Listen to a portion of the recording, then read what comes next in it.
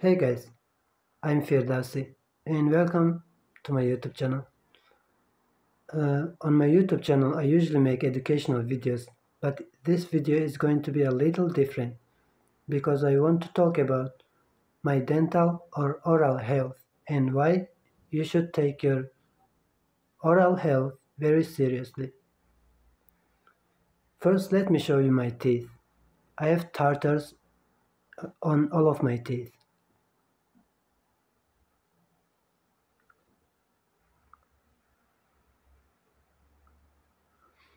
Now my teeth are wiggly or loosening, you know, they move. And in about two or three months, I could, or maybe five months, I could lose all, all of them.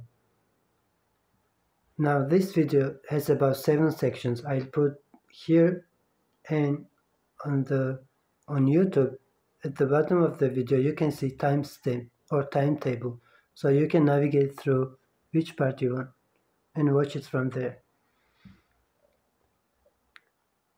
Now it all started when I was 16. On, on my bottom jaw, these four teeth, behind them, my gum started falling or gum, gum recession started. Back then, when I was 16, I, I had completely normal uh, white, completely white teeth without any tartars. I have gum disease. And my dad took me to the dentist, and all they did was inject something into my gums, and it literally burns your brain. That was the treatment. It obviously didn't work. It didn't wor- work for many reasons. Now, back then, I was in my own country today i'm in this situation because i'm i'm living abroad and living abroad made it impossible for me to you know to make to have a regular job to meet my basic needs like food water i mean you can drink water even outside shelter food and showering. So I, I, I have been homeless. I had been homeless like for a month and when you're homeless you don't usually you know your dental health your oral health isn't your top priority and there are things that i didn't know so that was my, that was basically introduction to my story and how it all started.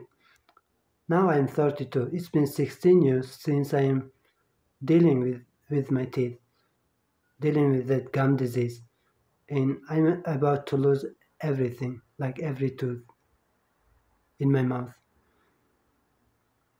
Every dentist that I go to, all, all they say is, your teeth are gone. Now let's talk about tartars and plaque, plaque and tartars. Now it all starts with plaque, you know, food particles that you eat uh, turn into tartar if you don't wash or floss properly. Wash and floss properly. So that's the thing I didn't know. I did brush my I do brush my teeth even when I sleep outside for months. But what I didn't know was flossing. I didn't know how to brush and floss properly. That was my mistake. So when you don't br brush, floss properly, food particles uh, can turn into tartar. Tartar is something like this, and it turns even like this. Now, what is tartar? Tartar is basically food particle uh, bacteria. It's a colony of bacteria in your mouth, on your tooth or teeth. So why is that? Why tartar is a problem? it's a problem because if you don't remove it, if you don't go to dentist, if you don't go to dental dental office or dental hygienist to remove this, you can't do it at home by brushing and flossing. Once you get tartar, the only way to remove it is to visit a dental office or dental hygienist. And if you don't remove it, tartar start us, usually uh, bone loss on your jaw, both lower or upper, starts when you extract or delete a, a tooth. But it also can happen when you have tartar and don't remove it. So what the tartar do, what the bacteria do, what the bacteria does is basically go into the root of your teeth and start eating your jawbone. Now, what your jawbone is responsible for is holding your teeth in place.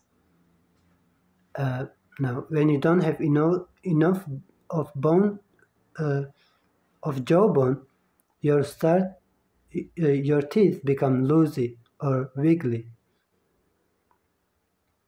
So that's why it's important to take care of your teeth and especially tartar. When you have tartar, uh, you have to go to your dental hygienist or dental office and immediately remove it.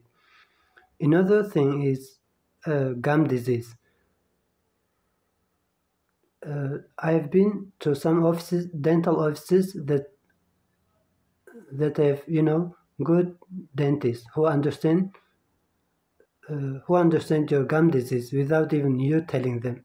You know when when last year I I removed one of my tooth on the left on the left side from my lower jaw. The dentist in the government hospital, I didn't tell him anything.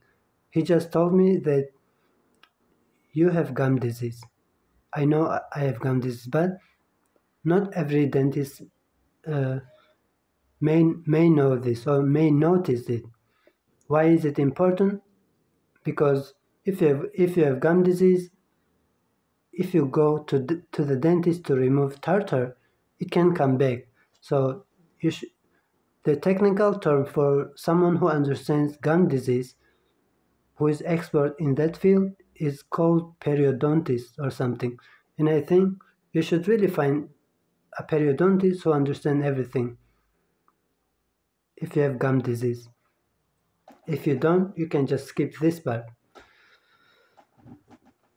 Anyway, uh, why dental health impacts your overall, overall health? Besides losing your jawbone uh, and your losing your jawbone and losing your tooth, if you don't remove tartar, it can the bacteria can go into your uh, internal or organs like heart or even your brain. That's why you should you should uh, immediately remove it. I hope this video was helpful and I hope my struggles can help uh, prevent you from losing your teeth. I'll see you in the next video. See you.